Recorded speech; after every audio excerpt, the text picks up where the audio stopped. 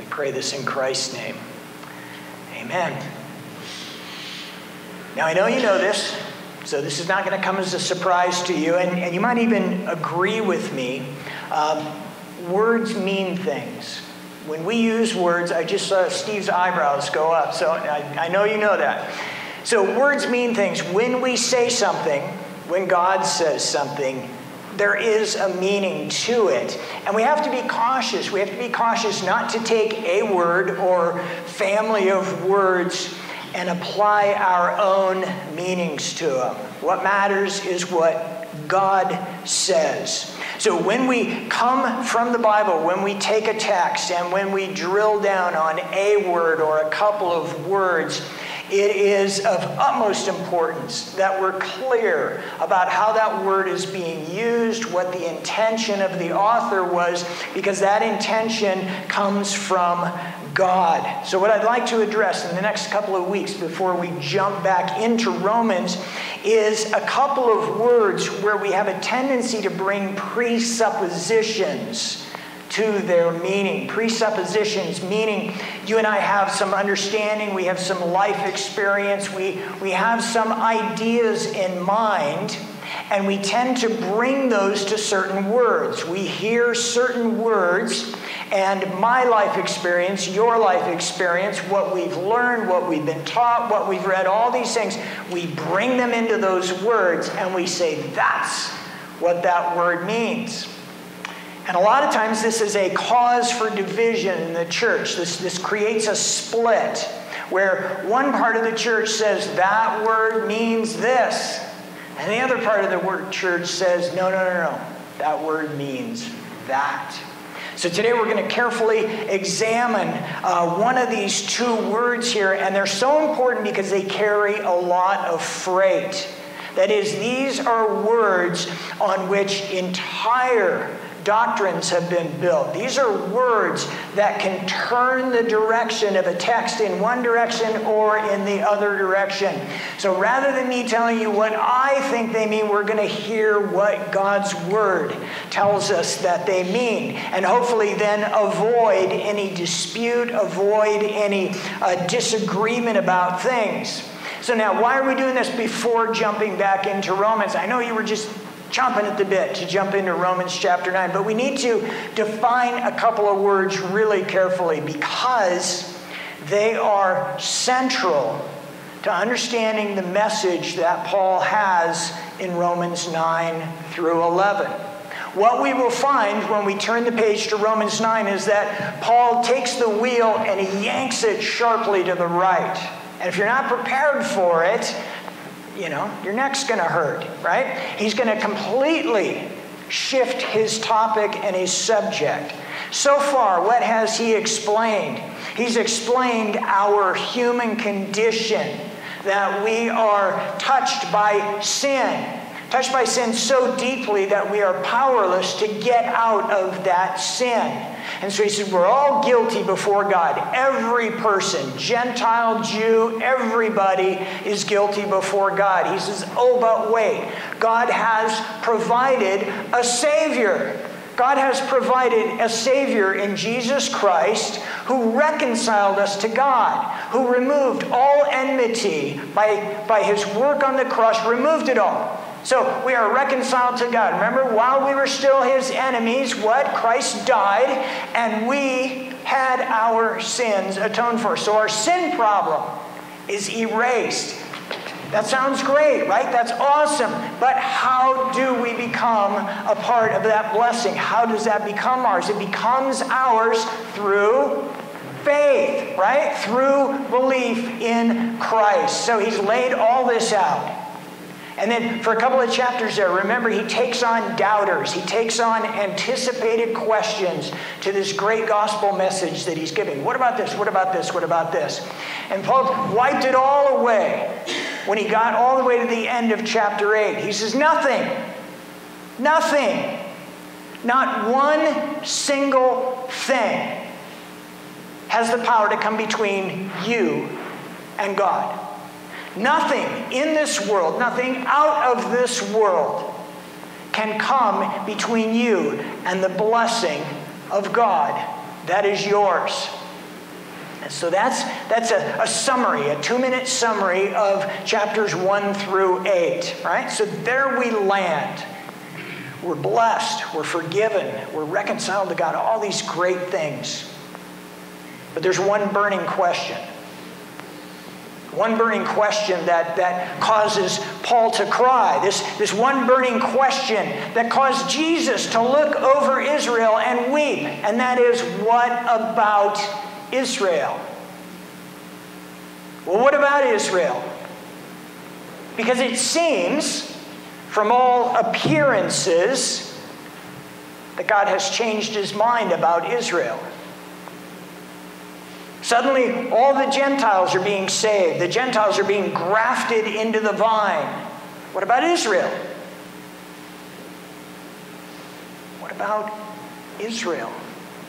Have they lost their blessing? Has God turned his back on them because of their continual sin? What about Israel? Well, that's the question that Paul is going to answer in the next three chapters. Chapters 9 through 11 are all about Israel and what God is doing, what He has done with Israel, and what that means in the context of this great gospel message that Paul has given in the first eight chapters. He's anticipating that this question is going to come. Somebody's going to read all the way up to chapter 8. They're going to pause to take a breath, and somebody's going to go, What about Israel? Somebody's going to be tempted to say, No, that can't possibly be true because the chosen people of God, the elect of God, is Israel. It says so back here in the shiny part of the Bible. It's clear right there that Israel is the elect. And so Paul's going to jump in and he's going to very carefully lay out what God reveals to him about Israel. And it's all good news. It's all good news. But we have to be very careful in locating ourselves in this passage. You see, that's our natural tendency. Paul's been talking about you for eight chapters, so clearly when we turn the page and go to chapter 9, he must still be talking about me. Right? And if we read it that way, we miss the message. If we read it that way, suddenly we start reading into words. Bless you. We start bringing our things that we've come to understand in the first eight chapters, and we start reading into those words. And if we do that, we run the danger of misinterpreting the whole message of what God is saying through Paul. So, two words we're going to look at over the next couple weeks. This week, we're going to look at the word predestined. Predestined, the word we'll look at next week is election. So, two words that carry enormous theological freight, enormous meaning, and they are so susceptible to bringing philosophy from outside, landing it on those two words, and going, that's what those two words mean. No argument, no dispute, can't possibly be any other way. Now, here's what I'm not going to do today I'm not going to bring any, any outside philosophy to bear. I'm not going to bring my theological understanding. I'm not going to bring what I believe these words mean. What we're going to do, this is, you're excited, I can tell. We're going to see what God says about those words, in particular about predestination. And we're going to do that because that's what should be central. That should be our first step in understanding anything that God says. If we have a word like predestined that carries such enormous weight, the first thing we should do is look and see how it's been used elsewhere in the Bible. Doesn't that make sense? Right? Let's go see how that word is used. And particularly, okay, how this same author uses that word.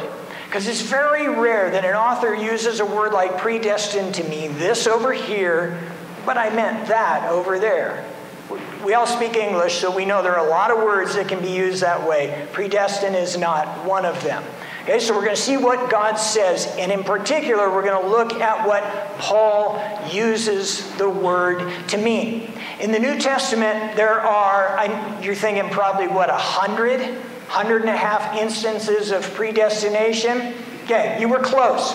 There are six, six times in the what? Million words of the New Testament, six times this word appears. Pro horizo. Pro horizo. Pro is a prefix. It means pre. It means before, okay? So it means before. So God does something before, right? So that's pro horizo. That's the word we're looking for. There's a usage in Acts and Dr. Luke is too smart for us, so we're not going to look at that one there. And then there's a usage in Revelation, and John's got a whole other thing going over there. So we're going to simply look at three passages where Paul uses that word.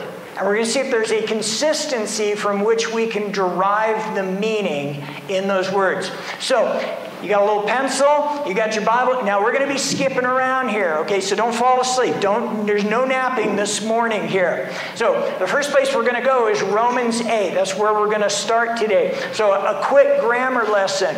A complete sentence, what's it made up of?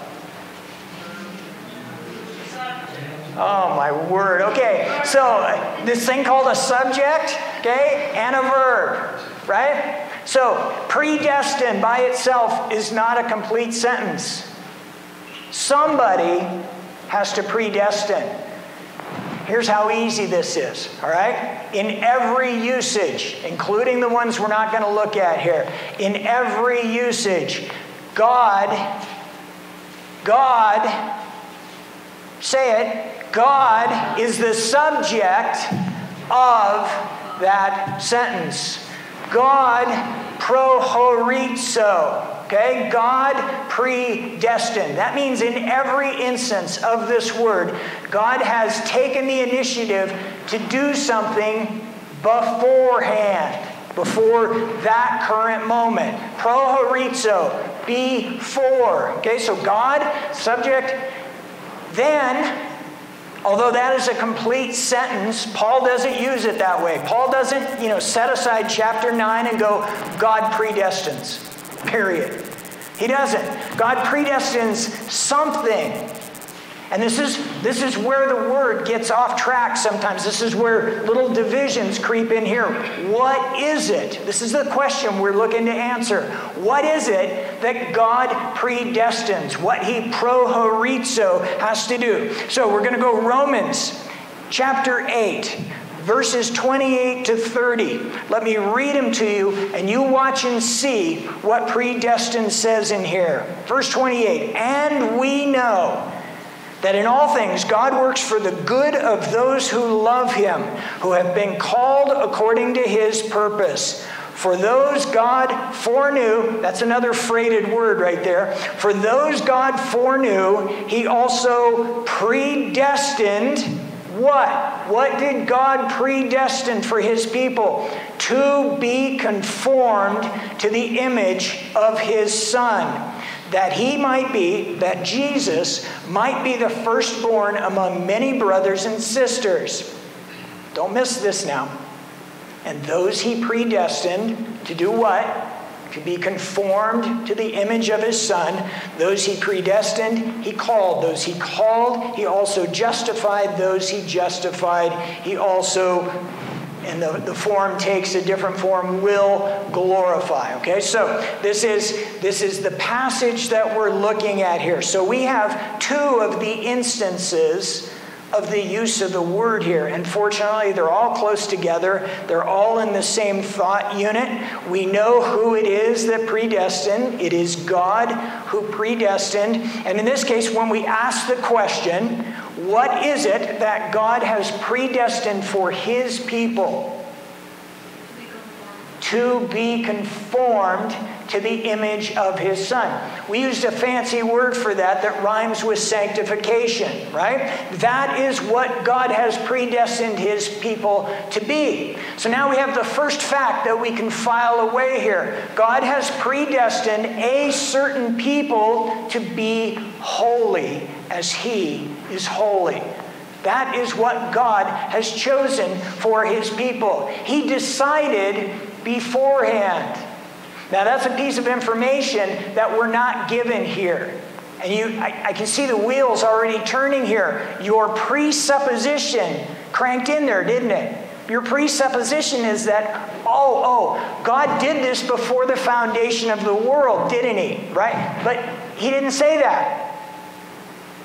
So now you see, now you see how presuppositions work. Because you're all Bible scholars, so you've taken that presupposition, you've brought it over to that word, not in the context. Right?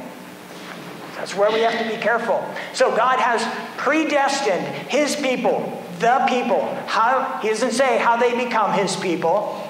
Paul's not touching on that here, and he's not doing that because he's already spoken about it. He's already said, by faith. By, remember that? 116. First thing he said in the book, by faith. Okay, so he's not explaining that there. He's saying this is the process of sanctification. God is calling out a people. God is separating off for himself a people that he's going to make holy. And you're saying, but Pastor, why is he making them holy? We're not given the answer to that question. We're not given the answer here, but your presupposition came, didn't it? Your presupposition shot in on the other side. Well, clearly he's making us holy because we're going to spend eternity with him. But again, we pulled that out of context. We pulled the before the foundation of the world out of context, and we pulled those things in. So we have to be careful. We work with the facts that we've been given here in this short passage. So you see all the theological, all the doctrinal freight that comes with that word. The other freighted word, of course, is foreknew. God foreknew. For those God foreknew. Now, don't read into that word. That simply means that God knew them ahead of time. Now, was it two seconds before Paul wrote these words down? Or was it before the foundation of the world? We'll, we'll have to read everything together. Now, you see why we don't take one word out of one passage and build a doctrine on it. Because we had to bring a lot of answers to questions into this word. We freighted this word with a lot of things that aren't here. So, in this passage, God is predestining us, pre, pre, who predestinating us. Is that a word? I don't think it is. But predestining us to be conformed, to be made holy, to be set apart, to look like his son. And why? We are given the answer for that. So that we will be one amongst a number of brothers and sisters. So that we will look like our brother Jesus Christ. Yes? All right, next passage we're going to 1 Corinthians. Don't flip too far. It's real close. Okay, 1 Corinthians chapter 2.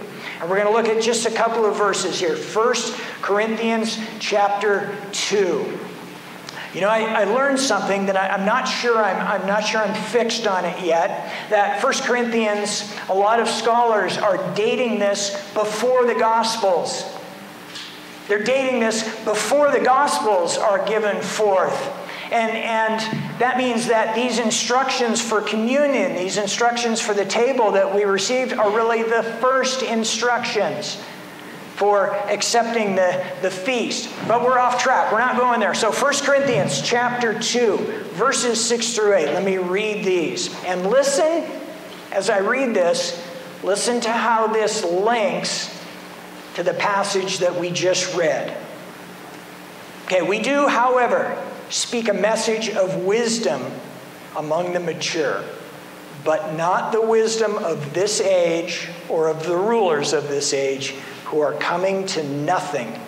No, we declare God's wisdom, a mystery that has been hidden and that God destined, there is the prohorizo there, God destined for our glory before time began. So now we get a little piece of this now. Okay, now we know how far back God planned this stuff. None of the rulers of this age understood it, for if they had, they would not have crucified the Lord of glory.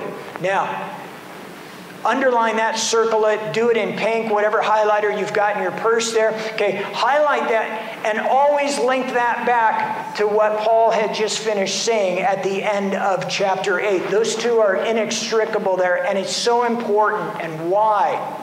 Why? Because it begins to direct our attention to what chapters 9 through 11 are going to talk about. What of Israel? What is God doing with Israel? Well, Paul is pointing out right here that some have been blinded for a purpose. Had they not been blinded, had they not been eyeballs covered, they would not have crucified the Lord of glory. And had they not crucified the Lord of glory, no atonement. Okay, so keep that in mind. Link those two always together. All right, so Paul has given this little little preemptive remark up in verse 2 up there, right? I resolved to know nothing while I was with you except Jesus Christ and him crucified. So we read this in the context of him speaking about Christ about the knowledge of Christ, about how we are blessed to have our eyes opened and our ears open so that we can understand all of this. So, with that foundation, he gives that statement.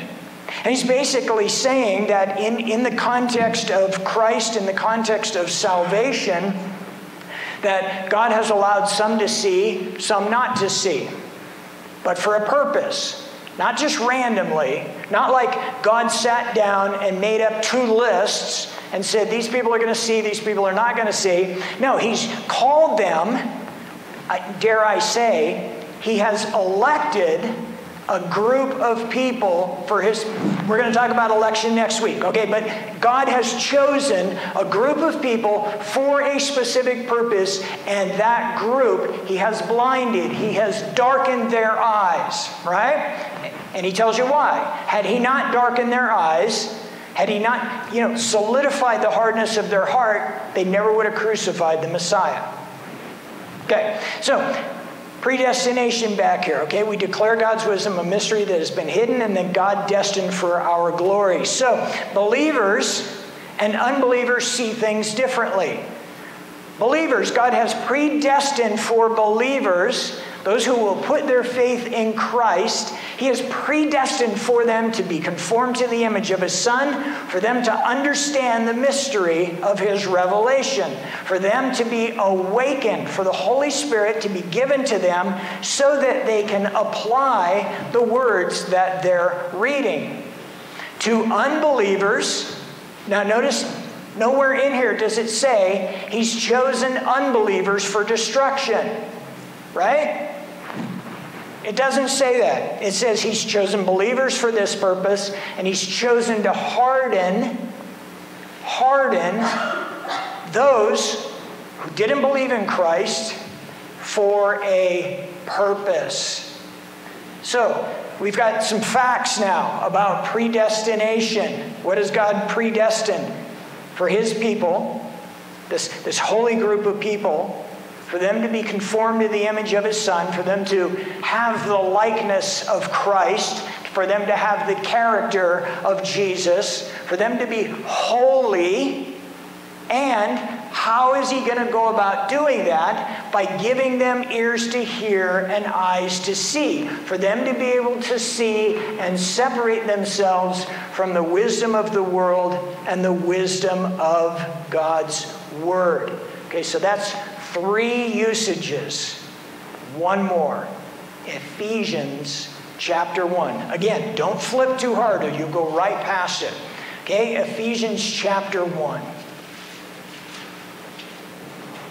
Now, this is the, the last of the Pauline passages. So, so far, we've only read Paul's usage of predestined, of prohorizo. If you ever look up the other two, they're going to come up the same, but we're going to concentrate on Paul just to make this simple. Wait, is this too simple today? Am I being. Okay, it's just right. I feel like the mama bear. Is it the mama bear that was just. No. Anyway. All right, so Ephesians chapter 1. Ephesians chapter 1. Now, you've heard this dozens of times, but I love reading it, so I'm going to read it to you again.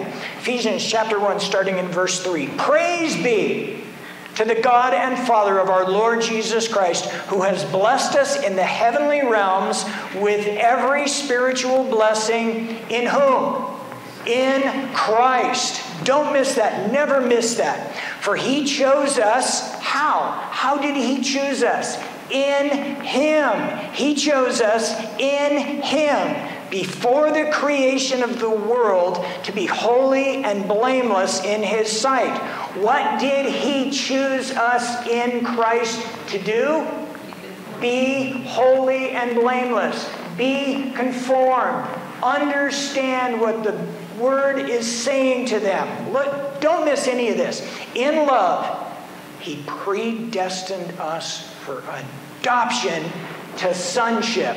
How awesome is that? He predestined us for adoption.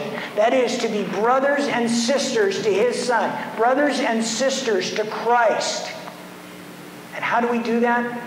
By belief and by taking on this ever growing image of the Savior. In love, He predestined us for adoption to sonship through Jesus Christ, in accordance with His pleasure and will to the praise, to the praise of his glorious grace, which he has freely given us in the one he loves. Now, if I gave you a quiz right now, a pop quiz, here it is, pop quiz, one question for all the donuts here. In whom is everything vested? Jesus, right? In him, in him, in him over and over and over. So many times, so many times when we're having deep doctrinal, theological, um, not arguments, we don't argue, discussions, discussions about this passage, there's an emphasis that gets left off of it. There's even sometimes words that get left off of it as people read this. Let me, let me give you an example, right? Praise be to the God and Father of our Lord Jesus Christ, who has blessed us in the heavenly realms with every spiritual blessing in Christ. Everybody's good up to that point. For he chose us before the creation of the world to be holy and blameless in his sight. In love, he predestined us to adoption, to sonship. You see the words that are getting dropped off there, the emphasis that gets dropped off is in him, in Christ, through Christ, through Jesus. Jesus. But you can't do that. Paul put those words in there for a purpose. Paul gave those words in there to fully explain what he means by predestined. God did not sit down and randomly choose a bunch of people. He chose us in Him, in Jesus. He chose us in Jesus. And that is so crucial. Now you see the thread that winds through these passages here. We were chosen in Christ. It is Christ who atoned for all of our sin. Agreed? Without Jesus, nothing else works. It is Christ who gave everything to atone for our sins. It is Christ who removed the enmity between us and God, who reconciled us to God. It is in Jesus that God has chosen to bless the world. It is Jesus who fulfills that Abrahamic promise that all the nations would be blessed through Israel. They are in Jesus, through Jesus, through faith in Christ, through belief in Jesus Christ. Everyone Everyone, everywhere, in all time can be blessed. That's, that's what's central to this passage and to understanding this. You have been predestined to be adopted into the family. Not because you're extra special, which you all are. You're all extra special to me. But God looks the world over, history over, time over, and He's building from amongst all people, from all time, a family. A family. And He's made one simple condition to that. That family will be composed of those who have faith. Those who have faith. Oh, but what of Israel? Well, listen, everything in Israel is of faith.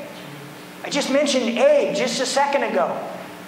God didn't come down and say, Abe, I need you to move, and then boot him along, did he? No, Abraham had to make the split second decision. Am I going to believe this? Am I going to do that? Yes. And he chose correctly. He did that. Right? Moses stands up before all Israel and he says, Ba ba ba ba ba. That's, that's what Deuteronomy sounds like. Ba ba ba ba ba. He gives the whole great sermon in Deuteronomy. He lays it all out. And then what does he say? I think he paused for effect, took a deep breath, and he said, I've laid before you life and death.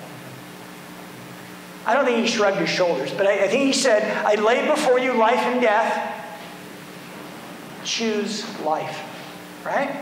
And then God sends him into the land.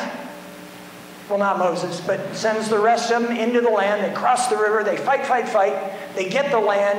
And at the end of it, eh, there's a little whining, but there they are. They're secure in the land. And then Joshua stands up. And just like that, he paused for effect. Joshua stands up. And he looks over all gathered Israel and he says, Choose this day who you're going to follow. I think he grabbed his lapels and he said, As for me and my household, we will serve the Lord. So we've seen choice, faith, choice, faith, choice, faith throughout. God has always operated by faith. And then when Christ atones for sin, the condition becomes, the new covenant becomes faith in Christ, faith in what God has done, faith in how God has redeemed all people, not just his select people, all people. And now you see what he's predestined. God is building for himself a people with whom he will spend all eternity, with whom he will, he will uh, bless everything on them. And that's what he's doing. He's saying, while you're here in this world, you are predestined to be conformed to the likeness of my Son. You will grow in your holiness. You will grow in your sanctification. You will do that, and then one day we will spend all of eternity together. If you run your finger real quick over to verse 11, in him we were also chosen having been predestined according to the plan of Him who works out everything in conformity with the purpose of His will, in order that we, who were, oh, oh look at this, in order that we, who were the first to put our hope in Christ, to have faith, might be for the praise of His glory. We are predestined to be people of praise. We are predestined to be people of mercy, of knowing what it means to be forgiven, of knowing what it means to be reconciled to God, of knowing and then showing. I thought this was really splendid the way Mike has been just leading up these stairs. This builds on this, builds on this, builds on this. This is the summary of it. This is what you will look like as members of the kingdom, as God's people, as you are conformed, as you are sanctified, as you become holier and holier. You will realize the depth to which you've been forgiven, and you will never again be unforgiving. You will not ever hold a grudge. You will not ever look out and say, No, I, I refuse to forgive that person. I'll forgive Rick, but nobody else. Never, ever, ever, ever would you say that because, because you've come to this full knowledge of what it means for God to forgive you. And I know you're all saints. I know that. wink. I know, we're all saints here, right? There's nothing in our past that we might even be close to ashamed of. Huh.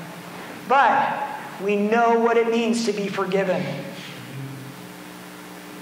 And we are transformed little by little by little. So, what is God predestined for us? To be changed, to be radically changed, to be more like Jesus, to look more like the family that He's building. God decided beforehand what he will do. God decided beforehand, pro horizo, how he would do it. God decided beforehand, before the foundation of the world, how he was going to work everything in history out. God did all that. All of it was decided. All of it was decided before the foundation of the world. God knew how he was going to work everything out. And how did he do it? In Jesus, in Christ, in him. And that's how God is building for Himself a holy people. Praise the Lord. Amen. Praise Him. And so, how are you going to praise God for this? We could sing Alleluia again. Well, not Alleluia. All creatures. We could sing that again. I, I see a couple of votes for that over here. We could sing that again, but, but there's so many other things, right?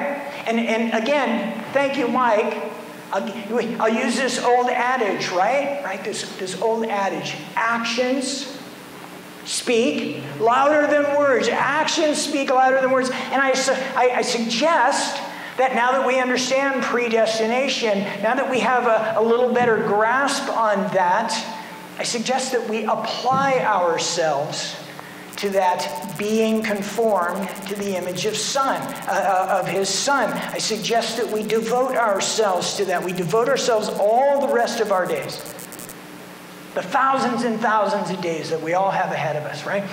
We apply ourselves to that and the way we do this is by giving ourselves over applying ourselves to the means to the means that god has given for our sanctification right? Number one we recognize the grace that's been given to us no cheap grace. We recognize the enormity of the cost of the grace that we know, right? We know that. We've held the body and blood in our hands this morning. We know the cost of that. So we recognize the cost. We recognize the depth of that grace. We recognize how completely God has forgiven us. We recognize what it means to be forgiven. And as we know that grace, as we know it, you know what I'm going to say next? We show that same grace. That's how we practice that. And if we find ourselves not showing grace, what is it telling us? We need to go back and reflect on the cross. We need to go back and reflect on the fact that God predestined us to be changed. That it's not an option for us to be saved and then remain in our seats all the rest of our days. We are to be continually being conformed to His image. Right? So that's it. We know that grace. We show that grace. We do it, right? We see in adoption, we see in the fact that God has brought us together that we are securely a part of the family. That's what Paul was saying in Romans 8. Ain't nothing going to separate you. Nothing is coming along, so you can be assured in that. And so, because we are forever going to be in God's family, we, we, we really have no choice but to devote ourselves to looking more like the family. I mean, it's fun to be the black sheep for a while, but at some point we have to come in and we have to find ourselves amongst our brothers and sisters. We have to build that fellowship, share that fellowship, know it. All the while we're being conformed to his image. And Paul's given us, Paul, God has given us tons of tools any number of things that we can use. To, I mean, we, we read the Bible not just to, to fill our domes with more knowledge, we read the Bible to hear God speak. And when He speaks, what do we do? We obey. If God says, do this, we do this. And we do this not just by ourselves, we do this together. When we read the Bible together, we can bring all of our voices, all of our lived experience together and say, I think this, I think this. And, and we can nudge nudge one another along in understanding what it is God's saying. But once we understand, we're committed to obeying it. We don't have, we don't have the ability. I've looked. There is no ability to hear God speak, say you must do this, and then choose not to do it. I, I, can't find it. Okay, so until we find it, we must commit ourselves to doing that. And why are we doing all this? We're doing this so we can draw closer to God. Being conformed to the image of his son is not so that we get a prize. Well, I guess we do. But we don't get a special prize at the end of time because, you know, you look more like Christ than, than I do. There's nothing like this. We do this because we've known God's mercy. We've known his grace. We've known his love. We have evaluated the cost of the atonement. We've, we've taken all that into account and we realize how incredibly blessed we are. So, this is not pastor saying you have to do all this stuff. It's God's word saying you should want to do this in light of the blessing that you know. This is what you want to do. So, words mean things predestined, prohorizo, means something. Now you know where to find it. Now you know what it means. And when we pick out a word, and then we'll look at another word, election, next week, those words are there for a reason. Right? The authors were inspired to use those words for a reason. And so these are important words, important concepts when we look at predestined, when we look at these instances of prohorizo, we see that the Bible reveals to us that God decided beforehand, and now we know that it is before the foundation of the world. God decided beforehand that you and I, that everyone who will believe will join this holy, set apart family of God, this eternal family. And we'll be a people of belief. We'll be a, a people of piety, of, of holiness, a people of love and mercy. We will be, all of us together, all Christians in all time. We will be this people who match in every way, in every way possible, the life and the person of our Savior Jesus Christ. Amen? Amen. Amen. Let's stand.